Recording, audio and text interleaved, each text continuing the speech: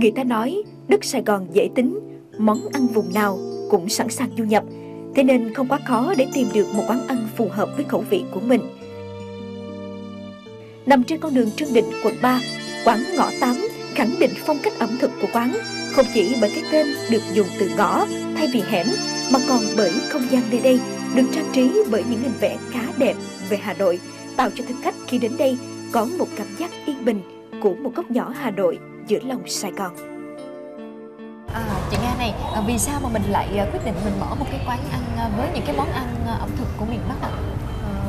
Ờ, thực ra thì uh, cái ý tưởng này nó cũng có lâu rồi Dạ. là tại vì là mình và ông xã thì đều là người miền Bắc Ờ, khi mà vào đây á, thì thực sự là rất là thèm những cái món ăn miền Bắc thế nhưng mà mình thấy ở trong này nó các ở cái uh, các quán ăn miền Bắc mà để hội tụ được những cái món mà mình thích bởi vì thực ra là phụ nữ thì mình thích ăn vặt Dạ. đó thì uh, từ cái ý tưởng đó thì mình đưa ra những cái món ăn mà vừa ăn vặt vừa ăn chơi mà cũng có thể ăn no Ngồi ở đây á, đếm mà sơ sơ những cái món này trên bàn này thôi là thì Linh thấy là cũng đã 10 món rồi. Ờ, đầu tiên á, là có thể kể đến món là món ờ, nộm rau muống Ồ, nộm rau muống hả? Ờ, thật sự khi mà ở ờ, miền Nam á thì thường là có những cái món như là món gỏi nè. Ừ, món gỏi là món đặc trưng. Còn ở đây thì đây là món nộm hả? Vậy thì cái cách làm của món này là như như thế nào hả?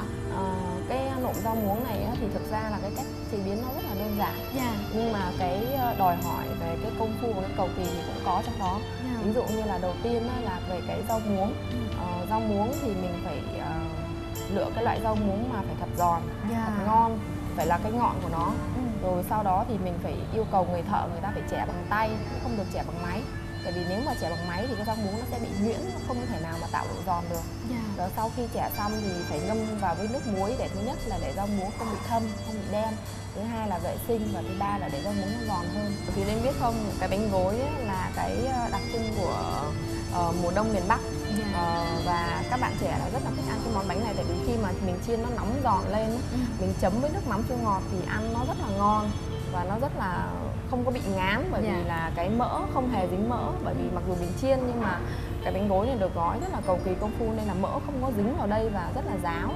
Mình ăn rất là ngon. Ờ, cái nhân nó thì ờ, cái nhân nó thì được làm à, từ ờ, hỗn hợp giữa thịt xay rồi miến mộc nhĩ nấm hương trứng cút. Nó nó tạo cho cái cảm giác nó không bị ngán. Ờ, khi mình kết hợp với lại cái nước giấm nó chua chua ngọt ngọt ấy thì ờ, nó sẽ rất là hợp. Dạ. Dạ vâng, cảm ơn chị Nga rất là nhiều. Bây giờ thì chắc hẳn là quý vị khán giả cũng như là Thùy Linh cũng đã có thêm cho mình được một cái địa chỉ để mà có thể thưởng thức những cái món ăn đặc trưng của miền Bắc để có thể là lâu lâu chúng ta thay đổi khẩu vị, thay đổi cái hương vị một tí xíu có đúng không ạ? Cảm ơn chị ạ. cảm ơn chị linh Vâng, à, quý vị ơi như vậy là trong sổ tay của quý vị và các bạn cũng đã có rất là nhiều các địa chỉ mà à, Thùy Linh à, vừa cung cấp với quý vị. Hãy thử ghé một lần đến những cái nơi mà Thùy Linh vừa giới thiệu để cảm nhận uh, cái hương vị đặc biệt này quý vị nhé. Ừ, và đừng quên nếu như quý vị và các bạn muốn theo dõi lại chương trình ngày hôm nay thì chúng ta sẽ vào website vtv9.com.vn quý vị nhé.